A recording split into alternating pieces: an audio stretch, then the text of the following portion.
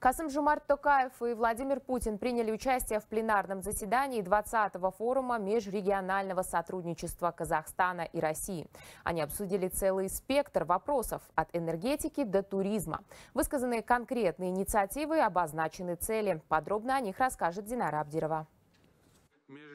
Отдельный пункт программы визита – совместное участие президента в 20-м форуме межрегионального сотрудничества. На связи в режиме видеоконференции УФА, где в этом году проходит пленарное заседание. На повестке потенциал торгово-экономического сотрудничества России и Казахстана. Сотрудничество в торгово-экономической и инвестиционных сферах Промышленная кооперация демонстрирует стабильную динамику роста. Действительно, товарооборот растет. В прошлом году он достиг впечатляющих 27 миллиардов долларов.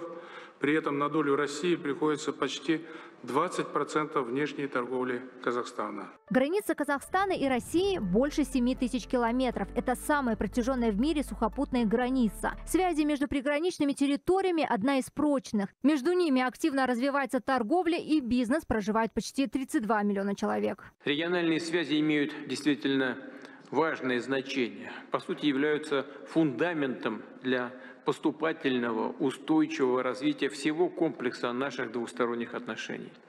И вполне логично, что в последнее время российско-казахстанские форумы регионов проводятся одновременно с визитами на высшем уровне. Отмечу, что на сегодняшних переговорах э, с Касым Жамарт Кемельевичем вопросы укрепления взаимовыгодных партнерских контактов между субъектами Российской Федерации и областями Республики Казахстан рассматривались в качестве ключевых.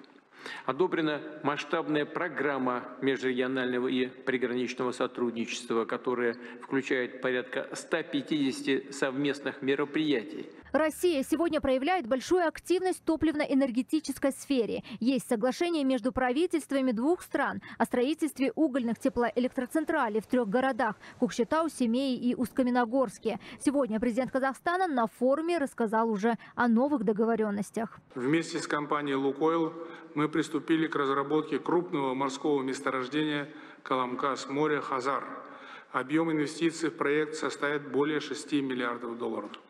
Кроме того, российские партнеры активно участвуют в реализации проектов нефтегазохимии. Совместно с компанией «Сибур» в 2022 году мы ввели в эксплуатацию крупнейший в Центральной Азии завод по производству полипропилена мощностью 500 тысяч тонн в год.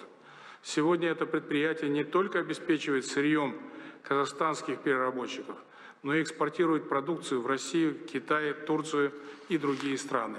Что касается газовой отрасли. Год назад Россия запустила транзит газа в Узбекистан через Казахстан. Наша страна становится надежным коридором. По словам Касымжумарта Тукаева, есть договоренность с «Газпромом» о поставке голубого топлива в Кыргызстан. Уже подписано соглашение. Однако наша республика, по мнению экспертов, может выступать не только транзитной страной, но и покупателем российского газа. Принципиально важным является то, что Казахстан э, пользуется всеми преимуществами транзита да, этого природного газа, потому что увеличивается потенциал газификации негазифицированных регионов Казахстана. Но нельзя еще не отмечать, что в перспективе обсуждается строительство газопровода из Российской Федерации в Китай, который также пройдет через историю Восточного Казахстана, в котором вопрос газификации стоит тоже на очень высоком уровне. Нефтегазохимия, машиностроение и сельское хозяйство. В этих направлениях лидеры двух стран определили основные ориентиры. Перспективы наметили и в агропромышленном комплексе. В этом году аграрии собрали рекордный урожай зерновых культур – почти 27 миллионов тонн. В агропромышленной сфере наши страны обладают поистине колоссальным экспортным потенциалом.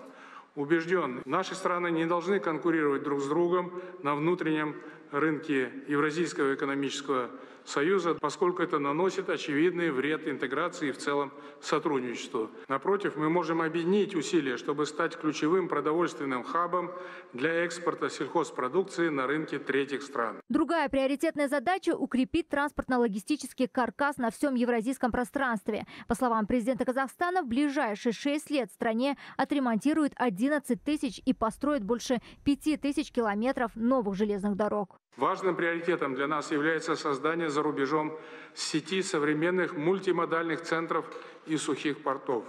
Одним из успешных примеров такого сотрудничества стало строительство нового транспортно-логистического центра на станции Селятина на территории Российской Федерации.